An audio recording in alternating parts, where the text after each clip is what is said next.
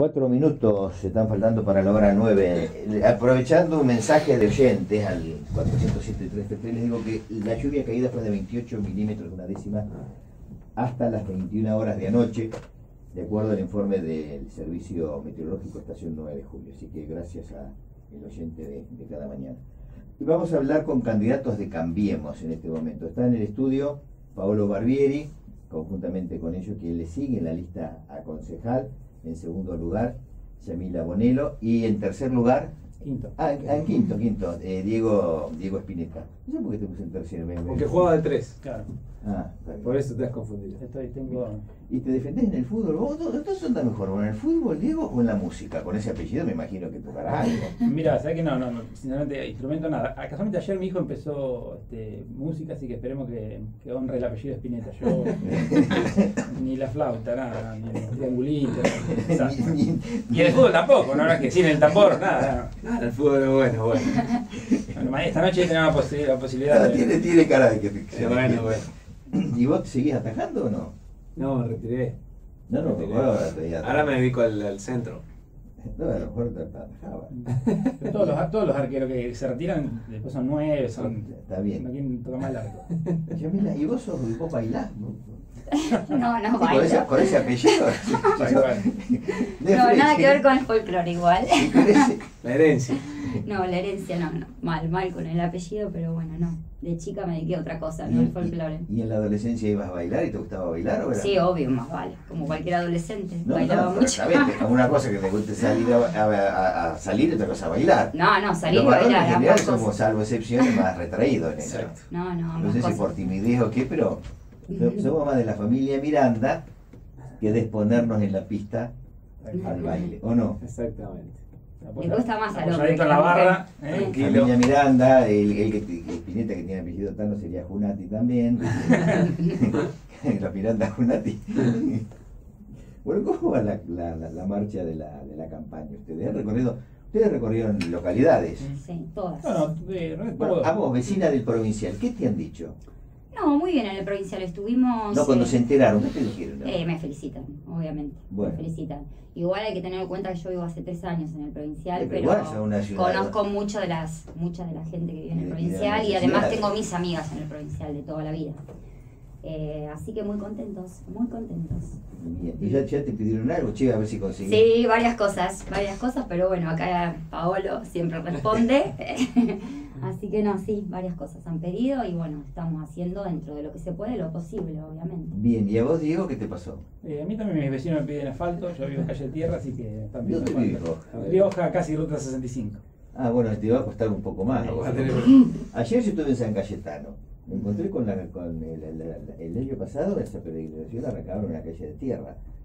Ayer la calle está pa- pavimentado a estrenar. Me parece que todavía ni los vecinos lo ¿No? estrenaron. Levantina. Sí, me parece que ni lo estrenaron.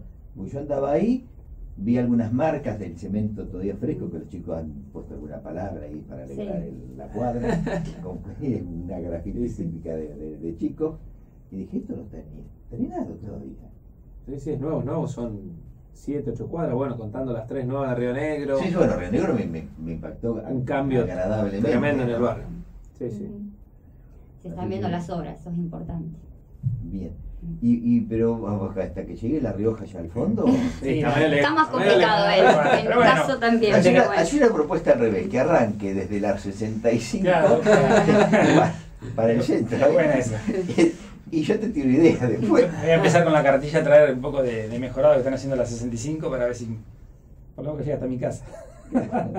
nada, pero digo, la gente nada, más que nada que pedir, no, realmente no, no, agradecida, contento de que uno vaya a, a, a timbrear, ¿no? Los, los timbreos que hemos hecho, bien, ¿no? La gente contenta, que vayamos a poner el oído, poner, no fuimos a proponer nada, simplemente a escuchar, y la gente siempre bien predispuesta, hemos hecho todas las localidades del partido, también muy bien, salvo los perros en algunas casas, bien la gente. No, y bueno, Y las ovejas, tenemos Sí. una compañera que Ah, la sí. corrió una oveja. En sí. el 12, la oveja. Sí. Mira que bien. Sí, sí. Mascota de Sí, oveja. sí. Ah, De todo nos pasó, pero bueno, re bien. Estamos acá sanitos. Pero mira qué interesante. Diego, bueno, vos estás in- integrando hoy una este, organización no gubernamental que lleva al tapete compromisos de la comunidad muy fuerte y mensajes muy fuertes.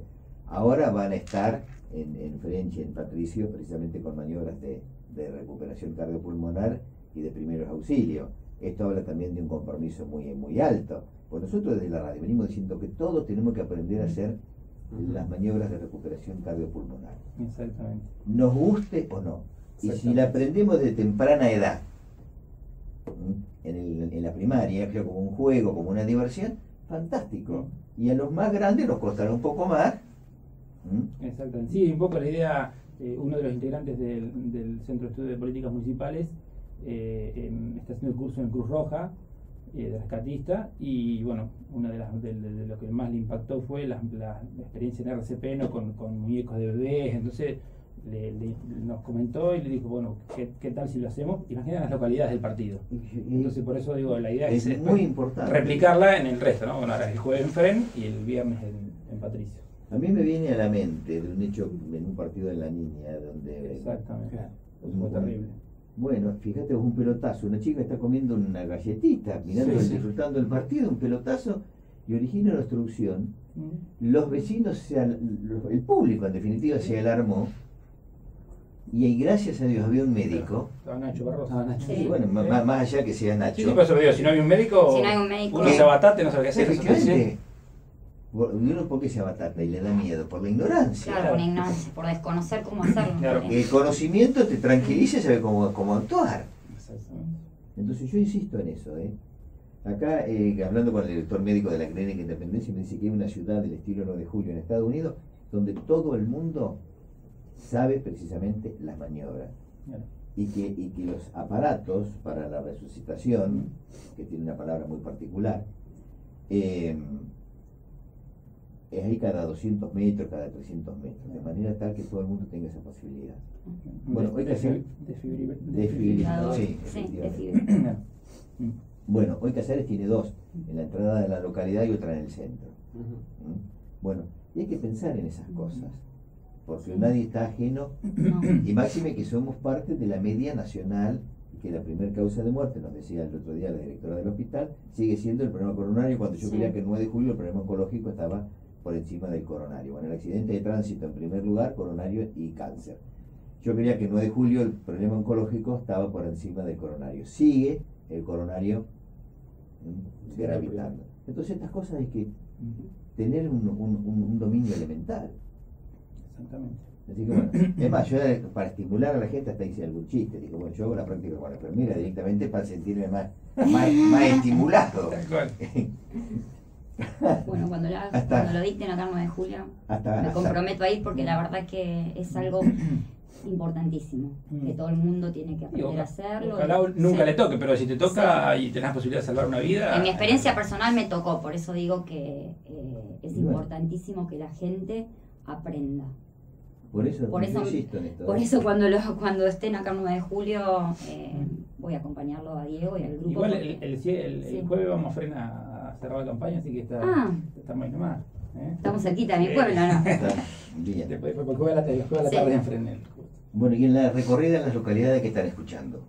Eh, no, bien, eh, realmente nos sorprendió. La, yo hace mucho que no caminaba, eh, Mm. digo que no iba a, la- a las localidades y vi bien los caminos. ¿sí? Bien, sé que la gente estaba contenta con, con las, los- los- de- las localidades bien eh, acomodaditas, lindas. Patricio, el 12, Naón, bien cuidadas, las casas, las que están habitadas están bien cuidadas. O sea que la gente, digo, No, los caminos rurales yo lo escucho a los chacareros, que son la queja con- constante Sí, sí, no, es otra. Yo por lo menos digo, y no se, no se quejan, al contrario. Sí, sí, ha cambiado. Se ha podido lograr una mejoría dentro de lo que se puede, porque, como siempre decimos, que la producción de todo, de toda la pampa húmeda sale a través de caminos de tierra, como hace 50 años. Peor que hace 50 años, porque antes salía mucho mayor carga en tren y sale la totalidad prácticamente Claro. en camiones. Pero bueno, dentro de eso, eh, la verdad que se ha generado un- una mejoría importante y lo reconocen Los vecinos. los vecinos en, en casi todas las localidades, más allá de algún problema puntual que puede surgir por diferentes motivos, pero en general se, se, se está trabajando muy bien. Bueno, hay eh, lugares, creo que es en Córdoba, donde están haciendo caminos con un mejorado muy particular, que a lo mejor el otro día en la reunión de, de, de- de productores en general, con autoridades municipales, se Se charló. está analizando, sí, se- sí, se sí, está analizando diferentes opciones.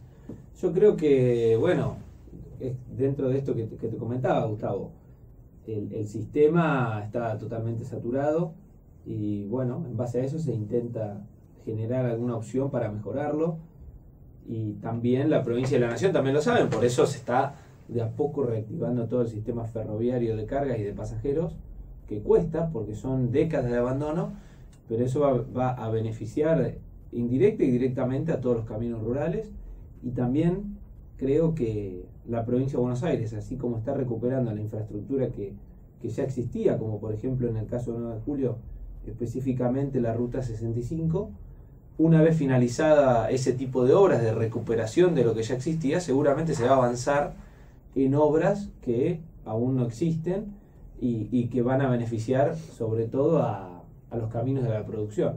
Me parece que ese es el sentido que va a seguir el gobierno, pero por supuesto va a llevar tiempo, porque, insisto, la infraestructura eh, estatal en todos los ámbitos estaba abandonada en la provincia de Buenos Aires, una provincia que no hacía obras, así que bueno, de- de- eh, deberemos esperar un poco, pero, pero también por otro lado estamos muy conformes con todo lo que se está haciendo, o sea, son dos caras de, de una moneda que, que analizamos.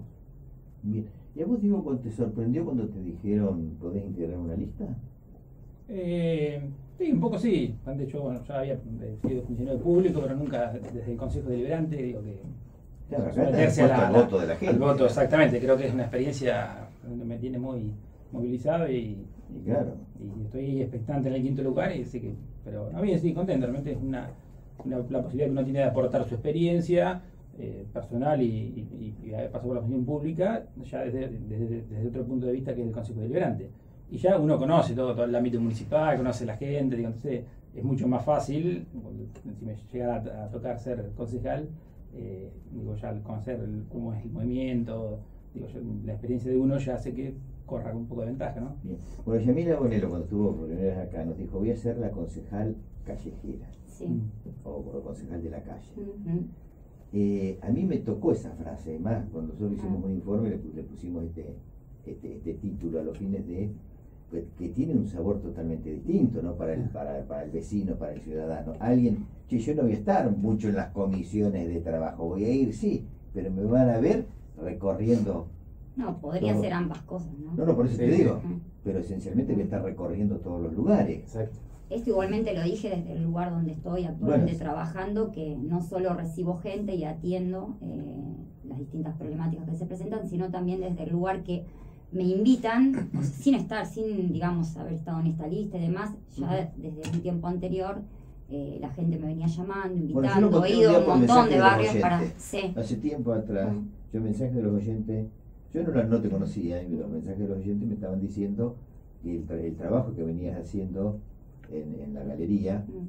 eh, escuchando a los vecinos y tratando de resolver las cuestiones, y que corrías vos detrás de, la, Sí, sí, de, sí. de los temas. Igual siempre tengo buena respuesta, ¿no? De las áreas del municipio, eso es importantísimo. Eh, porque sin la respuesta, si no tuviese una re- respuesta positiva, sería imposible también darle la confianza al vecino de que me diga, Yamila, pasa por tal lugar y yo voy, pero eh, intento buscar una solución. Intento dentro de las posibilidades buscar una solución. Pero sí, mi idea es esa, seguir trabajando de la misma manera que estamos trabajando ahora, sin ingreso, pero con otro compromiso. No pienso ocupar una banca únicamente, pienso trabajar en la calle. Creo que se necesitan concejales activos que salgan a la calle a escuchar no solo en campaña, Claro. sino posterior a la campaña. Bien. Bueno, cosas de la, de la vida cotidiana. ¿Nos sorprendió que a las 12 de la noche escucharon las campanas anunciando que hoy es el patrono de la ciudad? Yo donde vivo no la escuché. No, yo tampoco. no llegó, perdón. no la Al provincial no lleva. No, yo también la escuché. La verdad que me, me pareció un- una linda movida. A mí No, no recuerdo haberla haber- escuchado años anteriores.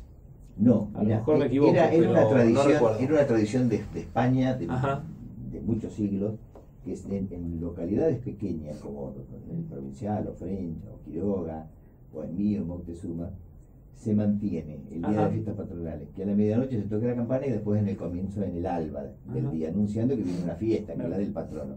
Acá se perdió, Sí, sí, sí. se mantuvo un poco en México, en algún otro lugar de, de- de América, pero acá se perdió hace pero muchos años, te Sí, digo. sí, yo no, no, no recuerdo. Y anoche que yo me estaba durmiendo y escucho la campana, digo, Estoy soñando. Estoy soñando. No, no pudimos escucharla. Y me acordé, me acordé. Y me- interiormente me originó una sonrisa. Sí, sí, sí. Y me acordé un poco de esta historia que le estoy, que le estoy narrando a ustedes y a los oyentes. Y hoy a las 7 estábamos para poner en marcha Despertate y otra vez, Otra vez. y van a volver a las 12, ya les aviso, les aviso a la gente para recordar porque toda la festividad. Esto viene a cuento que es el día del patrono de, de, de 9 de julio y en general siempre al patrono acá, en, en las localidades, se le da mucho más trascendencia Sí.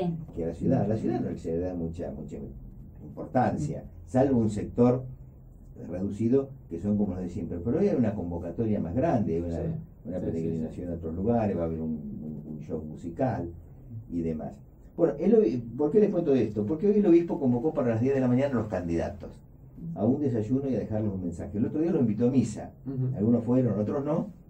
Y, y en esa línea no. eh, tiene una, como una preocupación, ¿no? Que la gente ore por ustedes para que les vaya bien. Y conjuntamente con ello, eh, hoy también tiene algo para, para decirles o para compartir. Sí, sí, sí. Va a ser a- hoy a las 10 de la las 10. mañana.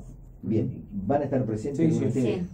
Bueno, Sí, están Sí. invitados los dos primeros de cada lista, así que vamos a estar presentes, por supuesto. Nos parece que esos puntos de encuentro son muy positivos. Nosotros tenemos una forma de trabajar también muy abierta, de diálogo, de buscar consensos. Lo hacemos en el Consejo Deliberante y, y nos parece que, que a veces en campaña o por diferentes eh, pensamientos políticos uno tiende a, a- a- a estar aislado y, y esos puntos de encuentro como los que plantea el obispo hoy son insisto, muy positivo, así que vamos a ir. También estuvimos el otro día en el debate, que fue otro lugar de encuentro dentro del, del Colegio Marianista San Agustín, muy interesante que plantearon los chicos. Más allá del debate en sí, mm, eh, lo interesante Sí, es la- es la- la, la inquietud. previa, es encontrarse y me parece que, que está bueno. bien. Bueno, no creo que el obispo los vaya a confesar, así que vayan tranquilos. por, por, por que es un hombre abierto. en Sí. ese sentido, no. Vayan, vayan, vayan tranquilos. Vamos tranquilos, sí.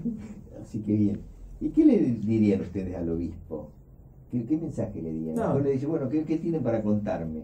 Yo creo que principalmente creo que hay, hay que resaltar que Ariel, el obispo, ha, ha entablado junto con Guillermo una, una impronta que hacía a lo mejor algunos años no se veía en, en nuestra localidad, de cercanía, de apertura de, de la iglesia y eso, eso se nota, se nota en, en la cantidad de gente que se acerca a, las misas, a la catedral y también siempre bien, predispuesto, doy fe en el trabajo en, conjunto con, con el municipio, donde hay un beneficio mutuo que al final del día que el, el beneficiado es el vecino, con muchísimos proyectos y obras en, en diferentes barrios.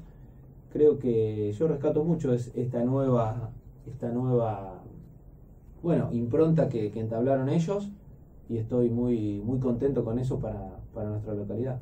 Así que le diría eso, le diría que, que ojalá puedan seguir así, puedan seguir haciendo crecer el, todo lo que están haciendo y que, que- que estoy muy contento con eso.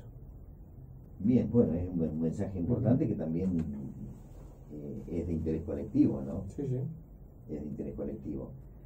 Bien, eh, yo te digo, Diego, convenceme, yo te, estoy en duda con cómo voy a votar ahora el domingo.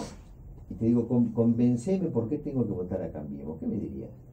Mira, en principio yo en el, en el 2015 eh, vi que hubo un, cambio importante en, la forma de pensar de los argentinos y que la mayoría elegimos un cambio y creo que tenemos que, digo, las transformaciones que, que pensado el presidente, la gobernadora, el intendente, no se llevan a cabo en un año y medio. Así se necesitan tiempo y creo que digo, por eso hay que apostar y en este, este año en particular, el 9 de julio, el radicalismo con el PRO y la coalición cívica decidieron ir juntos para profundizar este cambio. Entonces creo que debemos darle el voto de confianza al intendente, a la gobernadora, al presidente y apoyar para seguir con estas transformaciones. Creo que lo decía Pablo recién. Digo, las obras se están empezando a ver. Uno anda por las rutas y se ve, se ve movimiento. Yo la semana pasada viajé a Buenos Aires, está bastante avanzado el tramo, el trayecto, así que van a, a evitar el paso por el Yo puente. día vi la punta del túnel ya. Sí, exactamente. Digo, creo que Luján me refiero, ¿eh? Sí, la reunión de las 7 con el acceso este. De las 5 con el acceso este. Digo, y acá digo, se han hecho un montón de obras eh, que antes eran impensadas, ¿no? Entonces creo que digo, un poco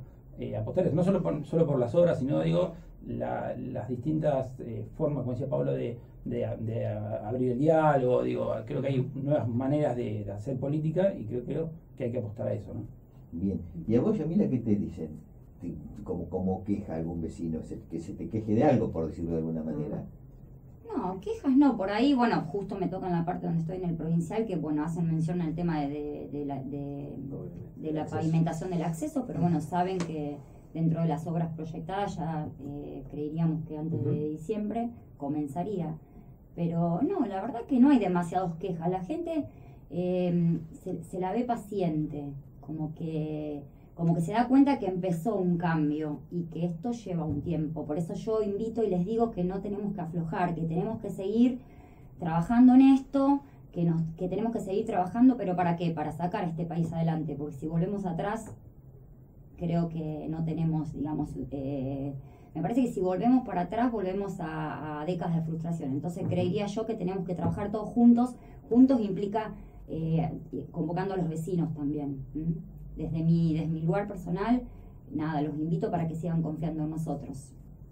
Muy bien. Claro, es muy fácil la crítica ligera. Yo siempre digo, yo me siento en el cordón de la vereda, entonces voy a mirar, voy a criticar a aquel que viene con el ruedo descosido, Sí. la, la- la- la- la suela rota. Pero ¿qué compromiso tengo? Ninguno. El de la crítica no. Si yo estoy caminando lo del jamás le voy a ver la suela gastada. Exactamente. Yo un poco eso te decía lo, que yo me pasó en el 2015. Yo, si bien había sido funcionario municipal, a veces me costaba un poco esto de salir a caminar, repartir la boleta, porque no la sentía. Claro. Pero creo que en el 2015 como que dije, bueno, hubo un quiebre en la sociedad y, y- y- y creo que hay una renovación. Entonces yo que tengo 40 ahora, digo, me tengo que involucrar. Por eso fue que salió lo del Centro de Estudio de Política Municipal, empezar a, a- a trabajar por 9 de julio a largo plazo. Y creo que un poco eso es lo que digo, tenemos que empezar a, a sumar gente de distintos sectores para que empiecen a, a salir de, la, de la zona de confort. Digo, yo eh, creo que todos los candidatos Sí. le restamos un montón de horas a nuestros hijos, a nuestra familia, y, pero para, eh, digo, pensando en el bien común. Digo, yo creo que 9 de julio acá, digo, yo qui- quiero tener la tranquilidad acá 20 años, mi hijo me diga, bueno, papá, por lo menos vos lo intentaste, después Sí. si salió o no salió, O es otra cosa. algo. Sí, bueno, aportar un granito Sí. de arena para, como si esto, salir de la, de la cómoda del café o del, del living de casa y decir, está todo mal. Bueno, pero yo qué hice para cambiar eso, nada. Bueno, mira, yo hoy hablando más temprano con Montenegro, con, con Guillermo Montenegro, que me, me- me reiteró una anécdota que me decía el otro día, ¿no? Él era terriblemente rebelde. Me dice, yo tengo un hijo de 17 años también terriblemente rebelde que está discutiendo la importancia de ir a votar o no. Claro, está la rebeldía y el gran desafío al padre. Cada uno habrá conocido la historia del padre rebelde, también él la potencia. Lo mandaban de castigo a un campo cerca de French. Entonces él se iba a, los cursos de French en, en- en su adolescencia y después venía el 9 de julio. Bueno, hoy me hizo una confesión pública, que quedó enamorada de una frenchera. Por supuesto, yo por delicadeza no le voy a pedir nombre, un cuentón, no, no- no corresponde. A lo mejor la, la- la frenchera es oyente, se estará sonriendo de esta, de- de- de esta anécdota. Pero el tema de fondo es que él, ¿qué nos estaba diciendo? Reivindicar a los abuelos, a nuestros antepasados que algo hicieron con enorme esfuerzo, con enorme gratitud y con muchas menos posibilidades que nosotros, pero que yo los veía como unidos en procura de que se hagan las cosas. Y en las localidades más pequeñas donde esto se observaba, yo lo veía en Quiroga, el pueblo unido, yo no veía diferencias. La atendían en, infinidad de situaciones, desde lo político y también desde el club de fútbol. Sin embargo, se ponían al hombro las cosas de interés para, con, el, pueblo. Esa comunidad, a fin de la década del 50, comienzo de la década del 60, empezó a bregar y a proyectar la Ruta 50. Fíjense ustedes, Ruta 50 que la estamos disfrutando hoy nosotros y que toda esa gama de convecinos de otras localidades, incluidas de Quiroga, que lucharon por la Ruta 50, murieron todos. Entonces me parece que es hora hoy de empezar a reivindicar esa lucha, ese esfuerzo que tardó y que hoy, a la luz de la tecnología y de las posibilidades, las podemos acortar. Estoy totalmente convencido que las podemos acortar, pero depende de la voluntad de nosotros, que nos pongamos escollos propios o que allanemos el camino. Este es mi, mi- mi- mi panorama y mi visión, ¿no? El- el- la situación económica, tarifas y eso, Pablo, ¿vos crees que gravita en esta, en esta, en esta campaña, en alguna gente de los bolsillos y eso? Yo creo que tenemos que recordar de, de dónde venimos, ¿no? De un país quebrado, de una provincia que no podía pagar, pagar los sueldos que hacía seis meses que se le había dejado de pagar a los proveedores. eh, y en base a eso, analizar todos los índices económicos que, que creo han mejorado, y no lo digo yo, sino que lo dice el INDEC, un instituto que ahora nos dice la verdad, trabaja con responsabilidad y seriedad, y nos dice que está creciendo la industria, que está creciendo un montón de índices que hacía tiempo venían en baja, con una economía estancada durante cinco años, y, un país que pasó de ser eh, exportador de energía a importar gas de Bolivia. Entonces me parece que tenemos que ser muy serios y responsables con esto eh, y trabajar pensando que en el corto y mediano plazo la situación económica va a ser mucho mejor de lo que es hoy y ya los índices muestran que es mucho mejor de lo que dejó el gobierno anterior en, muchísimos ámbitos y aspectos. Así que con eso yo estoy muy confiado que vamos a seguir saliendo adelante, que, que, que Argentina nuevamente va a ser un país de desarrollo, de crecimiento sostenido y no lo que veníamos acostumbrados, que nos deja después de 12 años de un modelo económico 30% de pobres. Entonces creo que eh, este, este nuevo modelo va a dar eh, muchísimos mejores resultados y ya los está dando. Bien. La, en Montenegro una de las cosas que me decía la importancia propio de que sea una, una, una intermedia, de que la gente vaya a votar. ¿Esto lo ven así ustedes? Pues Sí. siempre se habla. Sí, sí. Totalmente. Es muy, muy importante.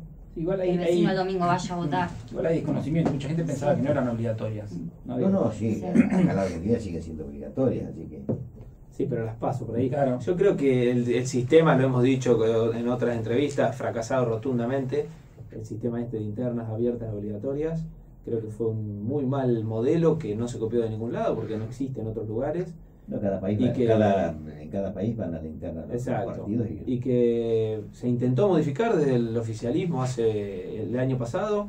Lamentablemente no se acompañó desde un gran sector de la oposición, principalmente los creadores de, de- o los que generaron la idea de las PASO, que son quienes hoy ev- evaden las PASO y van y crean nuevos partidos para no ir a interna, una- algo bastante raro e insólito, a lo cual un cierto sector de la política argentina nos tiene acostumbrados, pero esperemos que después de este, de este fracaso, donde hay pasos sin paso en todos los ámbitos, se pueda modificar junto, juntamente con el sistema de, de boleta, ¿no? Porque seguir votando como votaba mi abuelo, que me debe estar escuchando, que tiene 96 años, creo que es ya anacrónico, ¿no? Cuando todos los países vecinos tienen una boleta única o un sistema de voto electrónico, terminemos con esto que, que ensucia, daña el ambiente, es confuso. Creo que ya es momento de, de generar ese cambio, que también se planteó y tampoco fue acompañado el año pasado. Esperemos que, que el año próximo se pueda lograr. Bueno, ya en la década del 90, yo estaba en el sur de, de Francia, eh, en una familia que siempre me, me- me- yo viajaba de España a Francia, me, recibieron en su casa, y, una, y participé de unas elecciones en el sentido de que pude ver en esa comunidad cómo se iba dando el proceso de, de elecciones. Ellos discutían políticas de Estado, entonces las diferencias estaban en cómo cada partido iba a implementar esa política de Estado una avanzada muy, muy, muy grande. Y lo que más me sorprendió es que vi un aparato al lado del televisor. Entonces un día le digo, ¿y este aparato para qué? Y este aparato tiene dos particularidades. Yo de acá puedo votar en los programas de televisión y conjuntamente con esto hago el voto electrónico ahora el domingo. Así que yo participé de ese voto electrónico desde la casa ya directamente, con todo un esquema de reaseguro que, había que